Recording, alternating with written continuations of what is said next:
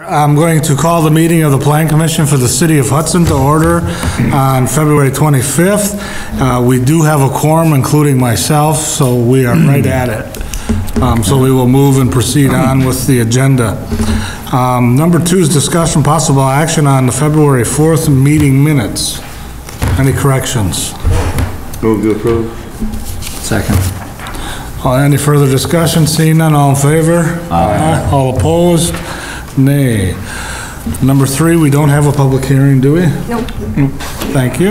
And going right to four, and the new business discussion, possible action on final development plans for the public utility storage building at 1201 Livingston Road, City of Hudson Public Utilities. Right. Good evening, everyone. So our Public Utilities Department is looking to construct a vehicle storage building at their current utilities site at 1201 Livingston Road. Uh, The building will be used to store the city's jet truck, utility pickup trucks, and a few trailers that are being displaced from the wastewater plant project, which we'll get to after this one. Um, It'll be about 7,200 square feet in size and located on the southeast corner of the property. Um, Staff is recommending approval of the final development plans with the listed conditions. Kip from our Public Works Department is here to, or or to Utilities Department, sorry, to answer any questions if you guys have any. Is any part of the building to be heated? Uh, yeah, like we discussed last time, the entire building will be heated. Get- Yes. State your name and Uh, title. Kip Peters, Utility Director, City of Hudson. Thank you. And what form of heat will that be, may I ask? It'll be uh, gas or or, uh, overhead um, radiant. Not in-floor radiant? No, overhead radiant. And then all metal structure, basically a pole building? All metal structure, yeah, metal, metal frame, uh, metal outside, uh, metal inside uh, with insulation, so Okay, thank you. No real office space, no office space at all. strictly based storage. Just basically a storage, yeah. And and color scheme to match? Color the- scheme will match the existing Existing that are, building. that are up there. Okay. I will move to approve as presented with any con- conditions the city has on that. Second. Any further discussion? Seeing none, all in favor? Aye. All opposed? Thanks, Kip. Item B, discussion possible action on the concept and final development plans and downtown design review for the wastewater treatment plant expansion, City of Hudson Public Utilities. So we are looking to get this package project kind of all approved tonight. It Includes concept, final development plans, and a downtown design review, since the project does fall within our downtown overlay district. Um, They're planning to update their wastewater treatment plant in, in 2020 this year to address aging conditions and capacity issues to extend the life of the facility that currently exists there. Um, Some of the improvements include modifying the existing garage to construct a new pretreatment building, a new UV disinfection building, partial demolition of chlorine contact tank, updates to equipment and structures in existing control buildings, sludge conditioning building, anoxic aeration tanks, and final clarifiers. Um, In regards to like the downtown design review standards portion of this review, um, they do meet all all of our code as far as like the color of the building goes, materials that they're using, which will be like precast concrete with inlaid brick columns and translucent window panels. So, that being said, staff is recommending approval of concept, final development plans, and the downtown design review with listed conditions. I have one question, if I may. You know, A lot of people, and this is, you can take this as a joke, or you can take it as a serious comment, or you can take it a lot of different ways. You come into Hudson, and the first thing you, you you notice about Hudson is you get a whiff. Is anything being done? The odor, con- the the odor control, yes, is, sir. the odor control is being updated, mm-hmm. yes. Okay, So it's, we can't guarantee, but hopefully it's better. right, no, no, no, I know that. but I Better. So yeah, new odor control. I've heard that, I don't know if you've heard New, that. yeah, new odor control is going in. Mm-hmm. And I was trying to be lightly treading on it, not, It- You know, you got to remember what you're dealing with too down there. Um, Obviously, as we all know, or we can, we can understand, that is not the ideal location, um, you know, with, with the growth that Hudson has had. But that was here way before any of us were here. And way before the freeway went through. Um, and way before the freeway went through. So at that time, it was the ideal location for a wastewater treatment plant. Um, you know, we're, we're definitely going to be doing our best. That's one thing. Um, SEH is here also who did, did the design and everything on this. So if you do have any questions from them, they'd be more than happy to answer it. But um, one thing that, that we, or me personally, I did, you know, what, through some of our first meetings was stress the importance of that site location. Um, This needs to be, it, it needs to be welcoming to the city or, or, you know, not seen, um, things like that. So, you know, we took that into account to try to match up um, what's currently there with some of the structures that are staying with the brickwork, um, colors, you know, things like that. So uh, the, the outside, we're, we are planning on painting the entire, you know, anything that's seen outside will be painted, um, just to try to bring it up to, you know, a, a little bit better standard than, than when you're pulling into town now, so. Couple other questions, just on, um, I'm repeating maybe some of this from other meetings, but to other people that haven't heard of it before, what, what effect will that have on the local taxpayers? Will that cause rate raise, rate increases? Will what, and then twofold question, what does it do to the capacity of the plant as far as 10, 20 years from now? As part of this redo, increasing the capacity, so it will buy the next 10, 20 years, whatever amount of time that we think that it would last for that. Okay, so first part of the question is, is the rates. Um, We are currently, we have a company uh, called Trilogy that we are working with that is doing a rate study on this. So we have an anticipation about what this is going to cost. Um, And they are actually conducting a, a feasibility study style to see what, how and what this is going to affect our rates. Um, We are going out for a clean, uh, clean water fund loan. We've already been approved for that loan. Um, We are actually getting that loan at a, at a 1.6% interest rate, which is just fantastic. Um, We haven't seen that, or at least I have never seen something that low in, in a long, long time. So, so, so we are going up for a clean water fund, so obviously, we will have to repay that. Um, It'll be a 20-year note. Uh, We'll be figuring out how we're going to repay that, you know, between user fees, uh, connection fees, different things like that, that we'll be looking at. Um, The second part of your question is, is relating to capacity. We are not increasing capacity of the wastewater treatment plant, okay? Currently, we, we can do 2.2 million a day. Um, we, this is basically an up, I don't want to call it an upgrade. The pumps, everything, it's been 22, 23 years since anything's been done down there. So the pumps are tired. You know, the SCADA systems are tired. Everything's just tired. So it's, it's, it's basically a facelift of this, of the stuff that runs 24/7 that deals with some of the worst material, you know, that, that we deal with. Um, So we are not increasing capacity. Now, with that said, we have done studies uh, system-wide studies that show that the 2.2 million can handle 25,000 people, okay, or out to 2040. So the 2040 that you keep hearing is, is an industry standard that says, you know, if we, if we do our, our rehab now in 2020, the typical life expectancy of a wastewater treatment plant is 20 years. So we anticipate in 20 years, we're going to have to, you know, the pumps are going to be tired again, the ska, everything's going to be tired again. So we're going to have to look at it at that point again. Um, Now, we, with the 2.2 million, or the 2.2 million a day, currently we do about 1.5 to 1.6 million a day. So the, the feasibility studies have shown that we can, we can sustain at our current permit out to about 25,000 people. Now, we also have North Hudson in there, so currently we are sitting about 17,000, you know, 18,000 people, uh, if you include the population of Hudson and North Hudson, who also uses that facility.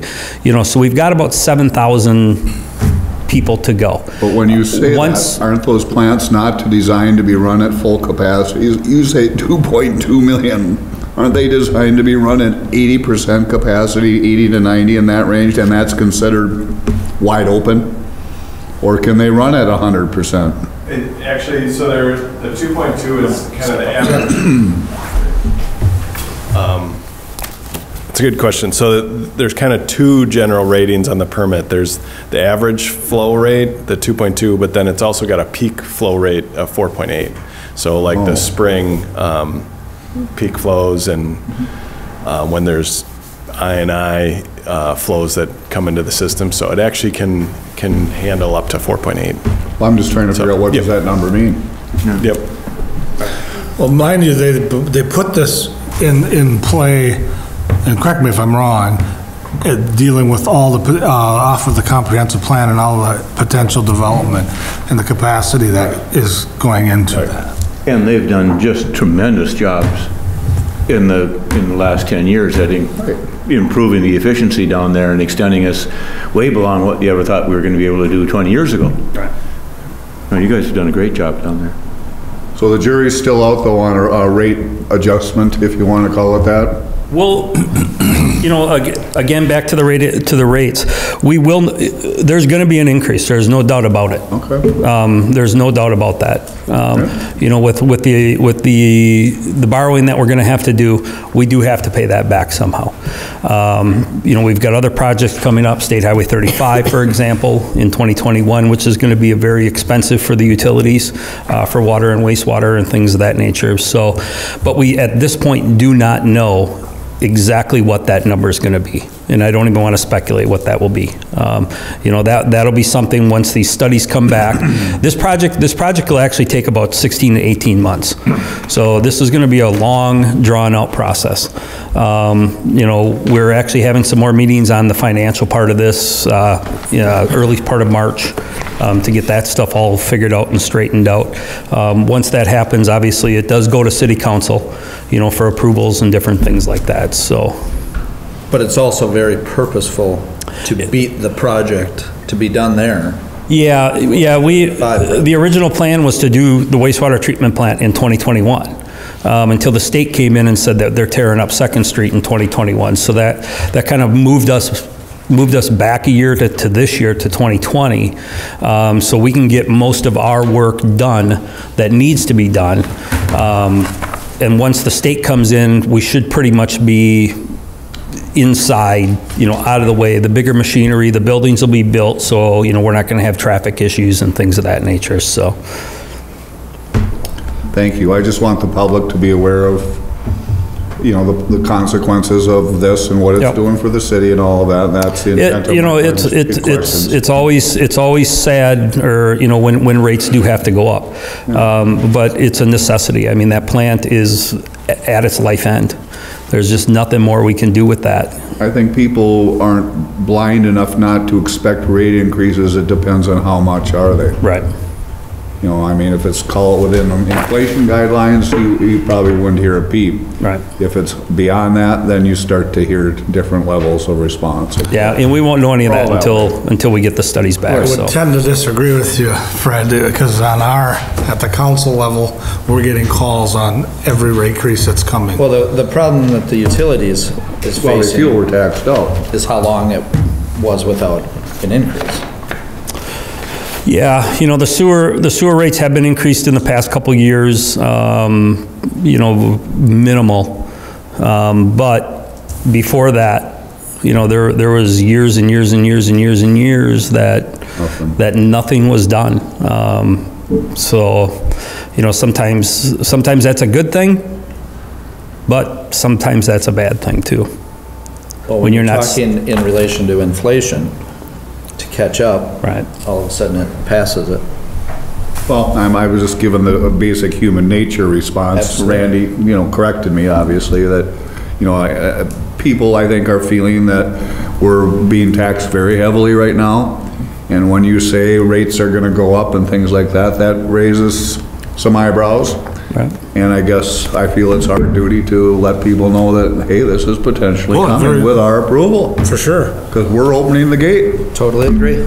Because we're in a, in a situation with the water rate increase on second meters, so it's all germane, and bringing this up now and a rate increase now is kind of on top of that is gonna be an interesting But no, move I forward. thank, thank you for the information, and I, I, I'm, not- I'm- I don't mean to be harmful or anything like that. Well, no, just- it's, it, it is what it is. I Right. mean, there's no, there's nothing anybody's trying to hide or, not say it, just, it is what it is, you know, and you got to understand that um, your, when it comes to a municipality, your most, im- your most expensive and probably your most important, um, depending, I, I think it's the most important utility.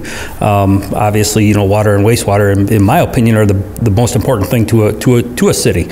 Some people might disagree, but think streets or police or fire or something like that. But, um, you know, the one thing that you do have to understand is that utility reconstruction, utility projects are very expensive. You know, when you want that, when you want that luxury of having water and having sanitary sewer, um, it does cost money to do things. I will leave you with the last comment that we make to other developers that have been at the gate to Hudson is, you're one of the first things people will see, make it nice. The- Like I said earlier, that, that's one thing that I definitely stressed to, to SEH right out of the gate was that, you know, we want this to look nice. Um, You know, and, and that's why we are, we are, the, you've seen the renditions, um, what, what you're looking at. Um, There is, the basically on them renditions, what we're looking at is the bottom rendition. There's two different styles there. There was, there was two colors on it. We're actually going with the single color on that. Okay. So, just to clarify that. The past is getting, is catching up with us, as Kurt alluded to, as far as costs and No, what no, we no, have to fix. I, I know that. We probably We've still have, neglected enough stuff, and it's finally haunting us. we us. probably still have wood We absolutely do. Yeah, I haven't seen wood yet. Oh, I thought. We have, were we have talk- water, we have water mains from 1888 mm-hmm. that we're still using today, so, you know, them are some old water mains. That's for sure. Thank you very much. Yep. Any other questions on anything? I will move to approve with all terms and conditions that as asked for by the, by, I guess, our, by Papa here, the city, that they would be adhered to. Second. any further discussion? Seeing none, all in favor? Aye. Aye, all opposed? Thanks, Kip. All right, thank you, everybody. Thank you. Uh, Item C, discussion possible action on the concept and final development plans for site improvements at 2401 Crestview Drive, Kwik Trip, Inc. Is there a representative here? Yeah. Okay. I'll introduce it Sure. as Matt heads up. Um, So Kwik Trip has applied for some site improvements at their 2401 Crestview Vi- Drive station store. Um, They are looking to add a fifth set of pumps, they currently have four sets, as well as move and update their underground storage tanks. Um, Along with this, they will also be um, changing the south Gateway Boulevard access to a right only. That's the one that's closest to the lights. Um, As Badger Drive and Hudson Center has developed, we've seen a lot of congestion at that intersection where people are trying to get out of Kwik Trip. So it will be a right and only, and people will exit Kwik Trip on the north side, um, farther away from the lights. So um, Matt is here with Kwik Trip if you guys have any specific questions. What's that gonna do to the capacity of that area and, and potential traffic? I mean, that's already a crowded spot. It sounds like you're, you're addressing some of it with your entrance and entrance, but. um, With the noted stacking that's going on there now, you know, at light intervals and all that stuff will, let's say you're adding twenty percent capacity to that gas station by adding a, a fifth island, you know, that, I mean, that's twenty percent. Will that cause, and is the city satisfied that there'll be no problems generated by the added volume that you probably will experience? Yeah, I'm not sure. I mean, that's kind of a bad spot, if you know what I mean. I mean, It is, it's tough. I mean, I think the improvements to doing the right-in, um, right-in only are, are gonna be a benefit to that intersection. Um, we're gonna move the underground storage tanks, um, which will, um, open up that, the, the driveway to the, uh, to the west, so when the fuel transport's in there, um, you know, it should create better traffic flow there. Um, this site's, you know, one of our top pumpers in the company. Um, We, we take a lot of fuel deliveries, typically uh, one to two a day, so the transport's in there a lot. Uh, We're going to increase the storage capacity of the underground storage tanks that we have there. So by moving them and increasing the storage capacity should alleviate uh, trucks coming, you know, coming in and out. Um, So right now, the tanks are to the west of the pumps? Uh, That is accurate, yes. What will that do with your, I'm not gonna call it sharing, but you know, you and McDonald's are kinda Yep. on the same ball field. I think that driveway is big enough in the way we have the tank set um, in there, tra- traffic will still be able to get around the tanker when it's delivered. And that won't impair anybody else's in and out what you're doing, or will it improve it? Yeah, I'm not sure. It could improve it, it could, I mean, I think, it could- I think, again, by closing, uh, alleviating that congestion um, by doing a right-in only on that entrance, I think it'll help, I think it'll help things. Well, getting in isn't the problem, it's getting out. Getting out, yep. Yeah. And now, we won't be able to in get there out. once you've pulled in. Correct, and we won't be able to get out, we'll be able to have the two exits, exits to the back of the building. I, I will tell you, there'll probably be some, uh, we're gonna have to study the, uh, exit of Badger and Gateway, and probably have more, uh, traffic control of some sort up there, from a public safety perspective on what, how to get that in and out and flowing better. Because you're gonna route everything out that way, it's gonna get exasperated. So there, that's something to be aware of. So, in other words, what you're saying, no matter what we do here today, it will still go before that scrutiny in those eyes. It, it's gonna have to, because I don't know what. Well, I want it to. before we would, I mean, because I don't know what's gonna do to that. It's already uncontrolled by what, one stop sign, two stop signs? And it's a, it kinda can I be, just one. Just one. it- it's a fight. coming, or, or, I was- I- I'm not sure about leaving the Kwik Trip property and the McDonald's property, I would assume so, and then I'm not sure about coming from the, uh, west to the east. if- There's still hesitation leaving your property, you know, turning left, because some cities draw lines right in the road, you know, follow this, and I, I wish we would do that up there, so people had some direction as to what to do, but they come out and they're uncertain what to do, when to turn. We And can so they always actually do that. stop, and then nobody moves.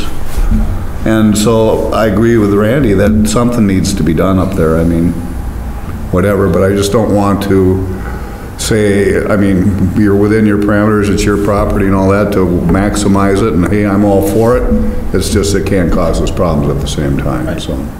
it just has to be monitored. I'm not looking to stop it either, but we're gonna have to address that intersection through the city. And so are you replacing tanks or just updating and adding capacity? Uh, replacing the, the current underground storage tanks are pushing 30 years old. Um, As an industry, 30 years is, is, They're double wall tanks? the, the new tanks are, are double wall mandated by federal and state regulation. The current uh, underground storage tanks, one is double wall, the other, I believe there's other, another three are single wall. Well, that's a tanks. welcome change. Yep, and the uh, underground piping um, is a better, is better piping than um, what's, what's been put in Does there. that, does that affect water drainage or anything like that up in that area at all? I don't think so. When do you anticipate start date? Our goal was to, uh, is, uh, mid-April, um, pending, you know, typically, you know, we see a, a- just a, a company-wide increase in the summer with, with traffic, schools out. So you'll be shut down, I assume? Our store, we we would prob, most likely, we will have, we will keep the store open, Right. and we'll have some parking, but the gas will be shut down as we replace the canopy, yes. And the canopy is, uh, same age as 30 years old. And the, the canopy size is, um, I'm not 100% sure, I believe the canopy length is the same, the width is gonna be just a little bit wider. And, uh, I'm not sure if this used, it used to be an auto stop store, and I can't remember if that, if what they were branded, whether it was Shell or at what point in time, but their island spacing used to be um, quite a bit wider, or Was it we'll standard? condense that. So we'll, that's, we'll keep the same canopy footprint, but increase our dispenser. I'll move for approval with all city conditions and uh, things about, with traffic to be looked at and uh, as, I guess, uh, one of, them to put it on there, and other than that, I, Well, I want to be clear, was that, I know you mentioned already public looking at it. safety. This has been reviewed by our engineer, and he didn't feel any concerns other than suggesting the right-in. oh, My comment is. well, then, I- that was directed at Randy's comments. My comment is to observe it, and then if there's an issue, I'm just being upfront and starting it early, that Okay. we may have to address something at that Badger. There's gonna be an issue. And I'm okay with that. So I- then I change, I will recommend for approval with all terms and conditions, traffic to be looked at as necessary. Second. Okay. Any further discussion? Seeing none, all in favor? Aye. All opposed? Thank you. To go to council for the March Ninth. 9th meeting. All right, thank you for your time. Thank you. Thank you. Uh, number five, old business. Discussion possible action on neighborhood notification mailing distance. Yes, let me get organized. Okay, so I know at our last meeting, um, we had kind of discussed the community development department's procedure for mailing distances. Um, this would be for public hearings, for um, neighborhood meetings, which just recently have started to come in as that new ordinance is being applied to new projects, as well as any subdivisions, um, which would be plats and certified survey maps. Um, Currently, we mail a distance of 300 feet. We kind of discussed that last time, and you guys had asked that we do a little research to look at some neighboring communities, similar size. Um, The second page in your packet kind of shows what other communities do. Um, I would say uh, conclusion to what staff found was that the city and our department currently has the same mailing distance or greater at that 300 feet than other um, neighboring cities of similar size. Um, Only one other city had a larger um, distance, that was Cottage Grove at 500 feet. And for the most part, um, we kind of were more extensive in our mailings. Um, We do, sometimes, we mail for more diff- types of applications beyond just rezoning or um, subdivision, so. We basically go above and beyond what other communities do. No, no, thanks for checking that out. That's nice Yeah. to know that. It's, gives a nice layout of what some other, you know, New Richmond, River Falls, Cottage Grove, Forest Lake, and Menomonie are doing, so. So you really don't need us to do anything. Um, only if you guys would recommend that we want to change the distance. I'd say leave it the way it is. And Yeah. I agree. I mean. It's not, Kinda bro- it's proof not that broken, 300 it's was not good. broken, leave it, let it go. It, Uh, it was an original, um, recommendation by a cons- a CH consultant. It seems to be a good distance that lines up with city blocks. Um, so you're not kind of having a block and kind of having to, you know, you don't want one neighbor getting it and the next neighbor not. So you gotta kind of fit it in a block area. Um, so it seems to work out well. The one thing to understand is that mailings aren't perfect. You get them back sometimes. Um, they're based on tax um, information, so we do our best to get them out. Um, and they just support the public hearing notices that are in the paper and online already. And I was gonna say, they're already publicly posted, and so, yeah. I think it worked great with like the pickleball association thing. I mean, I think, did you guys send letters out to those folks? Yep, so we, Great. yeah, we help Public Works kind of do the same kind of distance for them. So that was probably about 300 feet as well. Yeah. Good. Any questions or comments? Okay, moving on to item six, communications, items for future agendas. A, short-term home rental codes amendment update. We don't have an update. So, Staff is still working on it with the city attorney, kind Good. of getting through some very last details before we bring it forward. so we'll have it on our next agenda. We Hopefully. think so. And uh, number seven item, Move to adjourn. Second. all in favor? Aye. All opposed? Thank you, everybody.